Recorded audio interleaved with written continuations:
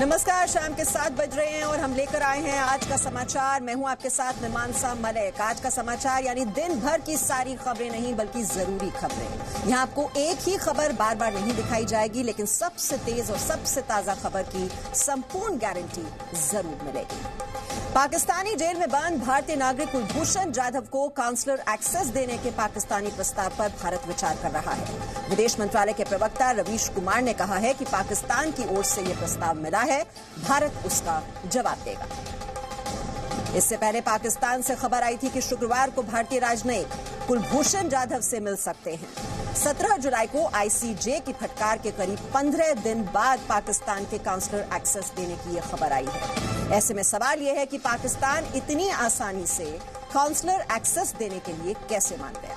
क्या कुलभूषण जाधव पर पाकिस्तान फिर विश्वासघात करेगा? क्या कुलभूषण पर पाकिस्तान फिर करेगा मंगल सूत्र वाला अपमान? उनका प्रपोजल आया है और हमें उनका प्रपोजल में क्या है उसको इवेलुएट करने के बाद जो international court of just, justice का जो जजमेंट है उसको उसके मद्देनजर रखते हुए हमें उनको रिप्लाई करना है। और इस पर जो रिप्लाई होगा पाकिस्तान के साथ, हम डिप्लोमेटिक चैनल्स के थ्रू करेंगे। मैं इस प्लेटफॉर्म से उस पर मॉडलिटीज में क्या होगा, उन्होंने क्या किया है, नहीं किया है, मैं उसका जवाब यहाँ से नहीं देना चाहता। और ब्रह्म प्रकाश दुबे इस वक्त हमारे साथ हैं। ब्रह्म, साठ सेकंड में ये बताइए, क्या कुलभूषण पर प्रस्ताव में कुछ नई शर्तें जोड़ी गई हैं? क्या पाकिस्तान फिर से कोई धोखा तो नहीं करेगा? मंगलसूत्र वाली नापाक हरपत तो फिर नहीं दोहराएगा। बिल्कुल मीमांसा, देखिए, जो अभी पाकिस्तान की तरफ़ से प्रस्ताव आया है, उसमें कई सारी शर्तें जोड़ी गई हैं और यही वजह है कि भारतीय विदेश मंत्रालय के प्रवक्ता ने कहा है कि आईसीजे का जो निर्णय है, उसके आलोक में इस प्रपोजल का भारत परीक्षण कर रहा है कि इसको स्वीकार करना है या स्वीकार नहीं करना है। क्योंकि मीमांसा, जिस तरह की शर्तें इसमें लगाई गई हैं वन टू वन मुलाकात नहीं कर सकते, बातचीत नहीं कर सकते हैं, उसमें कई सारी शर्तें ऐसी हैं जो स्वीकार्य नहीं हो सकती हैं। लिहाजा भारतीय विदेश मंत्रालय अभी इस प्रस्ताव पर यह तय करेगा कि जो पाकिस्तान ने प्रपोजल प्रपोजल दिया है, वो स्वीकार किया जाए, क्योंकि ये महाज एक दिखावा भी है। पाकिस्तान दुनिया भर को दिखाना चाहता है कि देखिए, आईसीजी ने जो फैसला दिया था, वो हमने स्वीकार किया है और भारत को काउंसिलर एक्सेस दे दिया है। लिहाजा कल तक फैसला लेगा। हालाँकि पाकिस्तान के विदेश मंत्रालय ने जो वहाँ की मीडिया को बताया है कि शुक्रवार तीन बजे तक भारत को जवाब देना है, लेकिन विदेश मंत्रालय के प्रवक्ता रवीश कुमार ने साफ़ कहा है कि अपने हिसाब से भारत निर्णय लेगा और डिप्लोमेटिक चैनल के ज़रिए पाकिस्तान को बताएगा कि भारत ने प्रस्ताव स्वीकार किया है या नहीं, क्योंकि ये दिखावा ज़्यादा है इसमें शर्तें बहुत ज़्यादा है बिल्कुल, कहीं फिर से धोखा न कर दे पाकिस्तान, ऐसे में बहुत ही सतर्क होकर आगे बढ़ना होगा इस मामले पर। बहुत बहुत शुक्रिया आपका। और अब बात जम्मू कश्मीर की। जम्मू कश्मीर पर महबूबा मुफ्ती ने आज आपत्तिजनक और विवादित बयान दिया है। महबूबा मुफ्ती ने जम्मू कश्मीर को मुस्लिम बहुमत वाला मुल्क बताया है। महबूबा ने केंद्र सरकार को धमकी देते हुए कहा है कि जम्मू कश्मीर एक मुस्लिम बहुल मुल्क है, जिसने हिंदुस्तान के साथ हाथ मिलाया हालाँकि इसी मुद्दे पर आज नेशनल कॉन्फ्रेंस के नेता उमर अब्दुल्ला और फारूक अब्दुल्ला ने प्रधानमंत्री नरेंद्र मोदी से मुलाकात की है। मुलाकात के बाद उन्होंने कहा कि प्रधानमंत्री ने जम्मू कश्मीर पर उनकी बातें गौर से सुनी हैं। हम आपको उमर अब्दुल्ला की बातें सुनाएँ। उससे पहले महबूबा मुफ्ती की धमकी सुनी कि जम्मू कश्मीर एक जमहूरी मुल्क है, एक मुस्लिम मेजोरिटी मुल्क है जिन्होंने हिंदुस्तान के साथ हाथ मिलाया, क्योंकि वो एक जमहूरी मुल्क है। और कुछ शर्तों पे हाथ मिलाया अगर खुदा ना खास्ता 35 ए 370 को किसी किस्म का जख्म पहुँचता है तो जम्मू कश्मीर का जो हमारा जो रिश्ता है, वो भी टूट जाता है। हर बात उनके सामने रखी है हमने हर बात, जब हम कहते हैं कि कोई ऐसा कदम ना लिया जाए जिससे कि माहौल में खराबी हो, इसमें तो हर चीज़ शामिल हो जाता है ना। इसमें स्पेसिफिकली अगर आप पैंतीस है पैंतीस है तीन सौ सत्तर बहुत सी ऐसी चीज़ें हैं जिससे कि माहौल में खराबी आ सकती है। हम बहुत ही मुतमैन होकर पीएम साहब की मीटिंग से बाहर आए हैं। और हमारे रिपोर्टर मनीष इस वक्त हमारे साथ जुड़ चुके हैं। मनीष 50 सेकंड में ये बताइए, कश्मीर को लेकर ये महबूबा और अब्दुल्ला परिवार बार बार देश तोड़ने वाला बयान क्यों देते हैं? पीएम मोदी से अब्दुल्ला परिवार आज क्यों मिला? जी बिल्कुल मीमांसा देखिए पचास साठ साल यही डरा के रखा गया इन कश्मीर के जो लीडर्स हैं कि अगर कोई भी ऐसा फैसला लिया जाता है जिससे कश्मीर को देश से और मजबूती से जोड़ा जा सकेगा तो इससे दिक्कत होगी कश्मीर में, या तो बारूद पे बैठ जाएगा कश्मीर, या कश्मीर में विद्रोह की स्थिति हो जाएगी।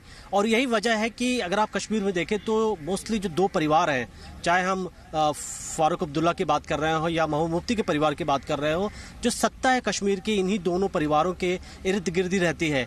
लेकिन अगर कश्मीर में बदलाव होता है, एक पॉजिटिव बदलाव होता है तो जो होल्ड है, ये होल्ड इनका खत्म हो जाएगा। और यही वजह है कि हमेशा ही इस तरीके के बयान दिए जाते हैं। कई बार ऐसे बयान होते हैं जो अलगाववादियों से मिलते जुलते हैं। कई बार महबूब मुफ्ती का बयान देखें तो ऐसा लगता ही नहीं है कि वो देश को एकजुट करने का बयान दे रही हैं। लेकिन सरकार देखिए मन बना चुकी है। अगर हम बीजेपी की बात करें तो उनके मैनिफेस्टो में है। वोट बैंक का खेल है और महबूबा मुफ्ती को एक कौन समझाएगा कि जम्मू कश्मीर मुस्लिम बहुल मुल्क नहीं है? ये राज्य है और हिंदुस्तान का हिस्सा है। आइए अब आपको उन्नाव गैंगरेप केस में अपडेट दे देते हैं। सबसे पहले आप ये जान लीजिए कि उन्नाव गैंगरेप पीड़ित और उसके वकील की हालत इस वक्त स्थिर बनी हुई है।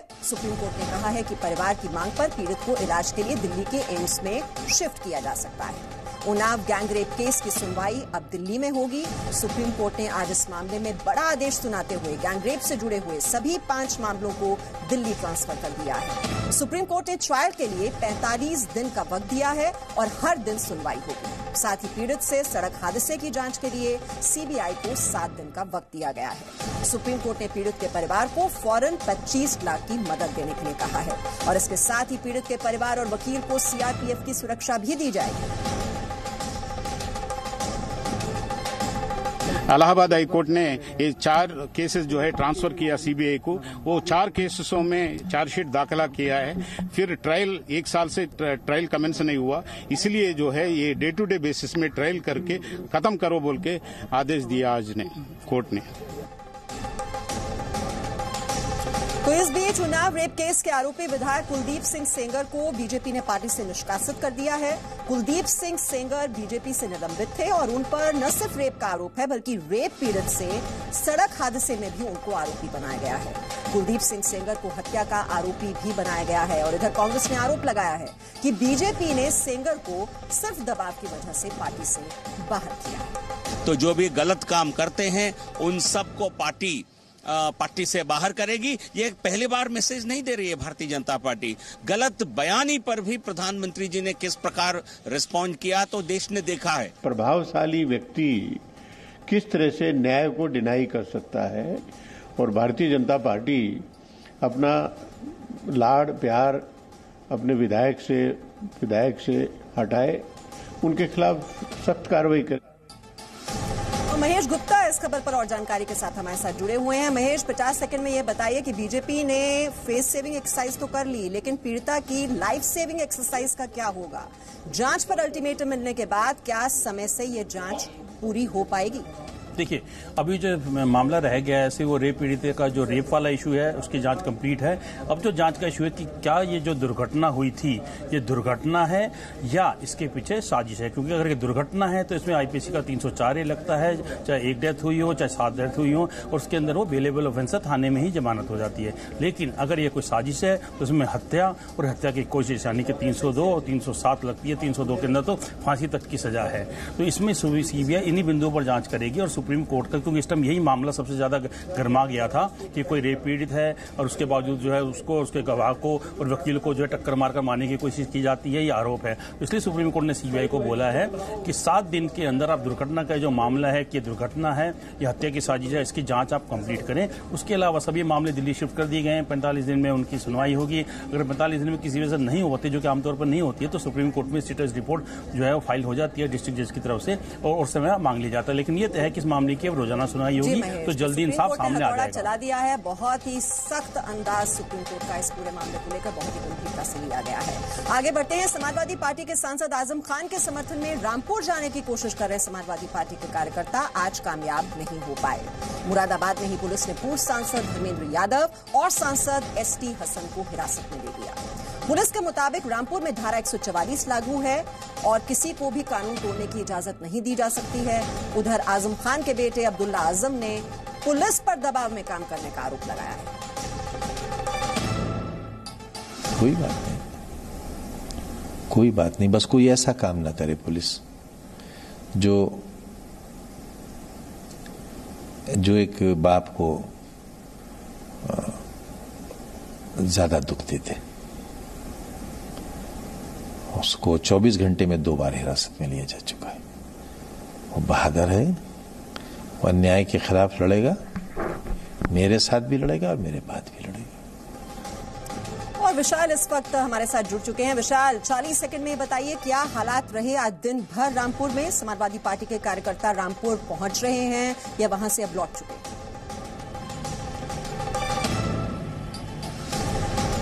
देखिए कल जिस तरह से आज़म खान के बेटे को हिरासत में लिया गया था, उसके बाद मुचलके पर उनको छोड़ा गया था, उसके बाद समाजवादी पार्टी के राष्ट्रीय अध्यक्ष अखिलेश यादव ने ये निर्देश दिया था कि तमाम जो समाजवादी पार्टी के कार्यकर्ता और नेता रामपुर जाएँगे। ऐसे में धारा 144 लगा दी गई थी।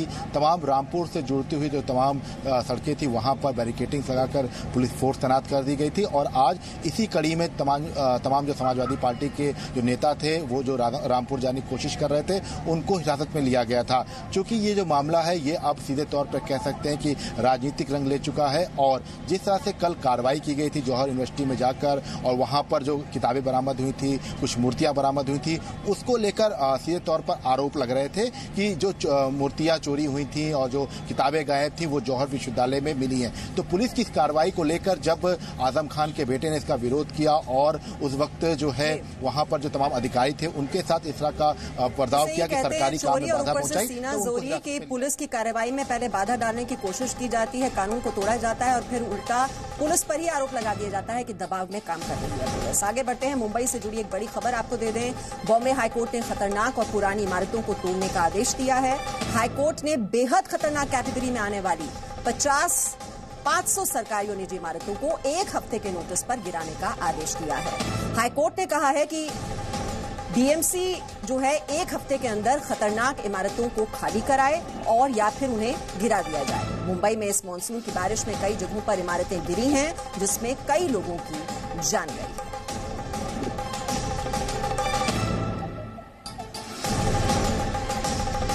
और राजीव रंजन इस वक्त हमारे साथ जुड़ चुके हैं। राजीव, अब ये जो आदेश दे दिया गया है तो मान लिया जाए कि जो मौत की इमारतें खड़ी हुई हैं मुंबई में, अब कार्रवाई होगी और सख्त तौर पर की जाएगी? या एक बार फिर से खाना तरीके से हर बरसात के पहले एक लिस्ट बनाई जाती है जिस लिस्ट में जितने धोखादायक इमारत हैं या जो भी खतरनाक इमारत हैं उन्हें गिराने के लिए उस पर कार्रवाई करने के लिए उन्हें खाली कराने के लिए आदेश दिया जाता था। इस बार भी साल 2019 में भी बरसात शुरू होने से पहले तकरीबन पाँच चार सौ निन्यानवे इमारतों की लिस्ट बनाई गई थी, जिसे सी वन कैटेगरी में दिया गया था। अब उसके बाद कुछ लोग जो उस मकान में रहते थे, खास करके जब सरकार की तरफ़ से उन्हें बिजली पानी काट दिया गया था, उसके कनेक्शन काट दिए गए थे लोग अदालत में पहुँचे थे तकरीबन तीस से पैंतीस लोग थे। लेकिन उसकी सुनवाई करते हुए हाल में जब डोंगरी में जो कैसर कैसरबाई इमारत गिरी, उसके बाद कोर्ट ने बीएमसी पर कड़ी फटकार लगाते हुए इसके बाद कहा कि आखिर जो इमारतें हैं, धोखादायक इमारतें उन्हें क्यों नहीं खाली कराया गया था? अंततः तेईस इमारतें ऐसे चिन्हित की गई हैं जो ज़्यादा से ज़्यादा धोखादायक हैं और उन इमारतों को जल्दी से जल्द खाली करा के जमींदोज करने का आदेश दिया गया। साथ साथ कोर्ट ने इस आदेश में भी कहा है कि पुलिस के साथ कोऑर्डिनेट करके और उसे जमींदोज किया जाए उसके फोटोग्राफ कोर्ट में सबमिट किया जाए इस तरह की बातें की गई है। तो एक हफ़्ते में खतरनाक इमारतों को खाली करा दिया जाए और उनको गिरा दिया जाए लेकिन अब देखना होगा कि ये इम्प्लीमेंट कैसे होता है। आगे बढ़ते हैं। कल अयोध्या में श्री राम मंदिर निर्माण पर एक बार फिर से सुनवाई शुरू होगी। आज मध्यस्थता पैनल ने सीलबंद लिफाफे में अपनी रिपोर्ट सौंप दी। कल दोपहर दो बजे सुप्रीम कोर्ट में सुनवाई शुरू होगी। और महेश गुप्ता इस खबर पर और जानकारी के साथ इस वक्त हमारे साथ जुड़े हुए हैं। महेश 60 सेकंड में ये बताइए, कल सुप्रीम कोर्ट में राम मंदिर से जुड़े हुए किस मुद्दे पर सुनवाई शुरू होगी और क्या सुनवाई मध्यस्थता पर होगी या फिर रेगुलर सुनवाई पर यह बात होगी? देखिए, मध्यस्थता के लिए सभी पक्षों की रजामंदी ज़रूरी है। अगर कोई भी एक पक्ष रजामंदी पे साइन नहीं करता है तो वह मध्यस्थता नहीं मानी जाती है। और पिछली तारीख को एक हिंदू एक पक्षकार ने कहा था कि वो इसके लिए राज़ी नहीं है। तो यही वजह थी कि फिर सुप्रीम कोर्ट ने कहा था कि जहाँ सुप्रीम कोर्ट ने कहा था कि पंद्रह अगस्त तक मध्यस्थता पूरी करें, फिर सुप्रीम कोर्ट ने कहा था कि इकतीस जुलाई तक आप मध्यस्थता की कार्रवाई पूरी करें और एक जुलाई, और एक अगस्त को अपनी रिपोर्ट सबमिट कर दें। सुप्रीम कोर्ट ने कहा कि दो अगस्त को हम सुनेंगे और अगर हमें उसमें कुछ प्रगति नहीं दिखी तो फिर उसका जो है खुली अदालत में मामले की सुनवाई का आदेश देंगे और ज़रूरत पड़ी तो रोज़ाना भी सुनवाई इसमें हो सकती है। तो कहने का मतलब यह है कि मध्यस्थता अगर सफल नहीं है तो सुप्रीम कोर्ट इसमें फिर खुली अदालत में सुनवाई का आदेश देगा। बहुत बहुत शुक्रिया महेश ये जानकारी हम तक पहुँचाने के लिए। तो कल का दिन बहुत अहम होगा अयोध्या निर्माण के लिहाज से। और इसी खबर के साथ यहाँ पर एक छोटा सा ब्रेक ले रहे हैं। आप देख रहे हैं आज का समाचार।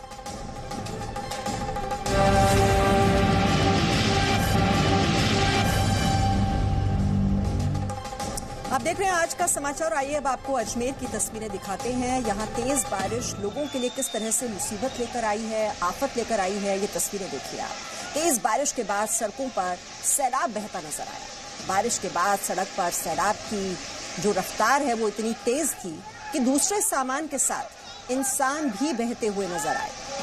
इस तस्वीर को देखिए आप, किस तरह से ये शख्स बारिश के पानी के साथ ही लोगों की निगाहों के सामने बहता हुआ निकल गया। कुछ लोगों ने इस शख्स को बचाने की भी कोशिश की, लेकिन पानी का जो बहाव है वो इतना ज़्यादा तेज था कि कोशिश करने के बावजूद कोई इस बहते हुए शख्स को नहीं रोक पाया और शख्स तेज बहाव के साथ बह गया। तेज बारिश के साथ दरगाह बाज़ार में दुकानों में भी पानी भर गया और पानी में कई लोगों का सामान बह गया। इस बारिश में कई लोगों की मोटरसाइकिल भी बह गई। ये तस्वीरें भी देखिए और इस बारिश के बाद सड़कों पर आए इस सैलाब की वजह से लोगों को काफ़ी नुकसान झेलना पड़ा।